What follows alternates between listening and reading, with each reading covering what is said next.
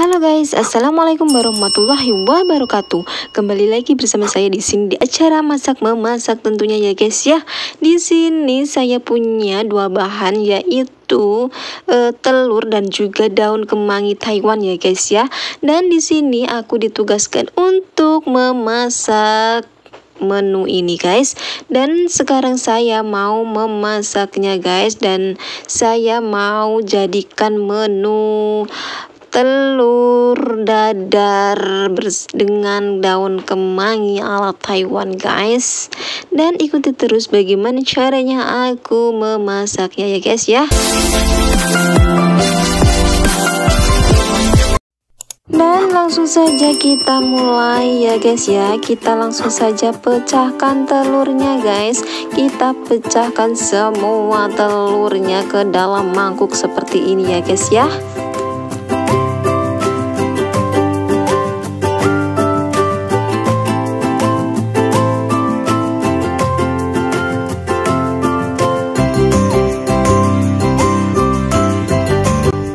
setelah kita pecahkan telurnya ke dalam mangkuk seperti ini kemudian jangan lupa kita kasih uh, bumbu atau kita kasih di sini aku kasih merica bubuk ya guys ya.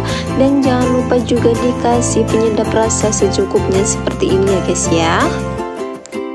Setelah dikasih bumbu atau dikasih rasa-rasa seperti tadi kemudian langsung saja kita aduk-aduk seperti ini sampai merata ya guys ya. Setelah bumbunya merata kita langsung saja masukkan daun kemanginya ya guys ya. Kemudian kita langsung saja aduk-aduk kemanginya sampai merata ke dalam mangkuk bersama telurnya ya guys ya. Setelah uh, semuanya rata seperti ini. Kemudian kita siapkan wajannya ya guys ya untuk menggorengnya ya guys ya. Dan langsung saja kita nyalakan kompornya. Kemudian kita tuangkan minyaknya ke dalam wajan seperti ini ya guys ya. Dan kita tunggu sampai panas. Dan kemudian panas seperti ini. Kemudian kita langsung saja masukkan semua adonannya ke dalam wajan seperti ini ya guys ya. Dan kita ratakan seperti ini biar kelihatan bagus ya guys ya. Biar merata gitu ya guys ya. Kita bisa ratakan uh, dengan ini seperti ini ya guys ya setelah semua adonannya dituang merata seperti ini dan kemudian jangan lupa dibalik ya guys ya. Dikoreksi sudah matang atau belum kayak gitu ya guys ya. Dan seperti ini kira-kira ya guys ya. Kita bolak-balik ya guys ya biar tidak gosong.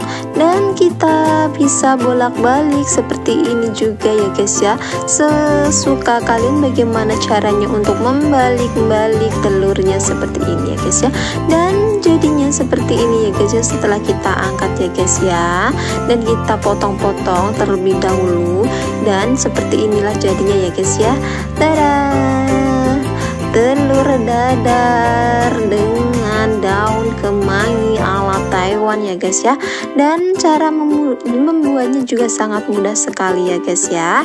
Dan terima kasih yang sudah menonton video aku sampai sini. Dan jangan lupa subscribe like comment serta share ya guys ya. Dan terima kasih. Sekian dulu. Assalamualaikum warahmatullahi wabarakatuh. Bye bye